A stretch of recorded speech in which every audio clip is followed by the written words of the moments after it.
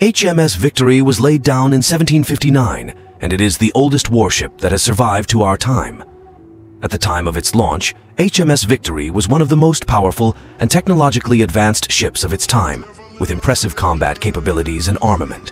In 1797, HMS Victory was the site of a sailors' rebellion, which led to the famous Mutiny on Nelson.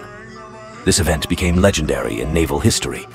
The ship was in service for more than 40 years, and during this time it experienced many battles, storms, and adventures. HMS Victory was a warship that took part in many famous naval battles, including the Battle of Trafalgar, where under the command of Admiral Nelson, it won a great victory over the French-Spanish fleet.